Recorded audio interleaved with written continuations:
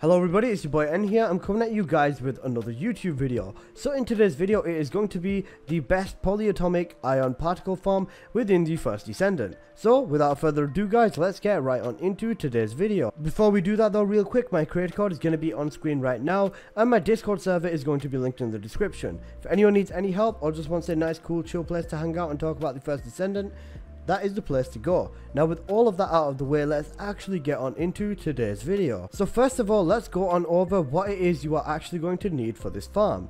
Now, being completely honest, there is not a single thing that you actually need for this farm. However, I do recommend running Bunny or Ultimate Bunny for this farm because with Bunny or Ultimate Bunny, you're able to go fast and that is essentially all you actually need. Once you are all set up, you're going to want to fast travel to this point over in the fortress on screen right now.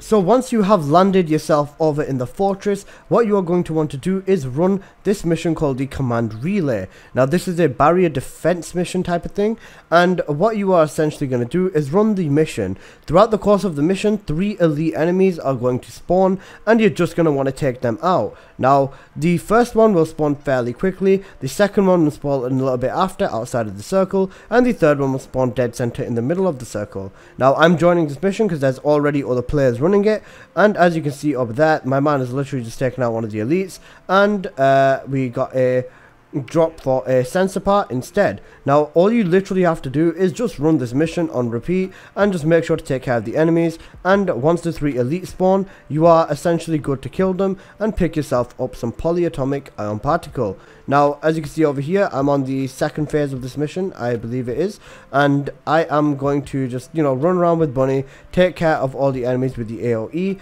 and then once the elite spawn I will be taking them out. There you go that's one of the elite enemies right over there. We've just taken him out and instead of getting the polyatomic ion particle, in that instance we got us another uh, golden component. So, people, so to get this started, what you are going to want to do is go on over to the map and go on over to the fortress. The mission that we are going to be running is the command relay mission and that is the closest fast travel point to get to the mission. So once we have spawned in, I will give you a quick rundown on what it is that we need to do.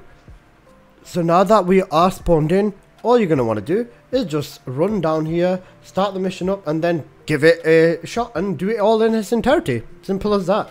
Now, there's no catch. This is fast, I promise you. So all you're going to want to do is just make sure that you are using some sort of AoE, whether it be with Bunny, Ajax, Lepic, you know, whichever other descendant you wanted to be using for this mission. All you got to want to make sure is that you are essentially just killing all the enemies as fast as you can. Now, killing the enemy will be the difference between a slow run and a fast run, and I believe in this gameplay, I get this run done in under 2 minutes. But as you can see, the first elite enemy already spawned, and we already got 8 polyatomic ion particles.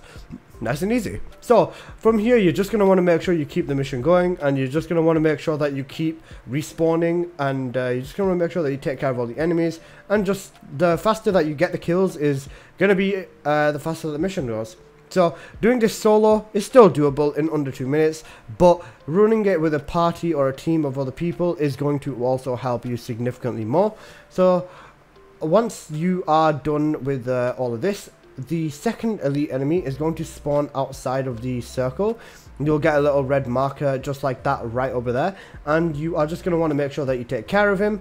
Nice and easy. And again, boom, polyatomic ion particle. So as you can see, we've got 11 that time. So we've got just under 20 already. And we've only been doing this for about a mission. Uh, sorry, about a mission. We've only been doing this for about a minute, minute and a half at max. Now, the final boss is going to spawn in shortly after this, dead center in the middle of this circle. So you are just going to want to essentially grab this boss, take him by his reins, take him out, and this boss can also give polyatomic ion particle, or this boss can give you another golden HP uh, HP, sorry, golden component drop or something along them lines. So, you know, the results from this one can vary a little bit, but either way, if you get particles, you're balling. If you don't, I mean, free gold drop. There you go. As you can see, we got a reactor from him that time, so, you know, a golden drop. But, simple as that. All you're going to want to do is just run the mission again and again. The pain of first descendant, I guess, people. But there you go. Just under 2 minutes and just under 20 polyatomic ion particle. So this is nice and fast and will help the masses out significantly. Anyway guys, that's been this video and I hope you have enjoyed. If you did, please do smash that like button and if, if you are new here, please do consider subscribing. This has basically been the fastest farm that I know of as of right now at least to get yourself polyatomic ion particles. So yeah, that's this video. Smash that like button and I will see you guys in the next one. Peace!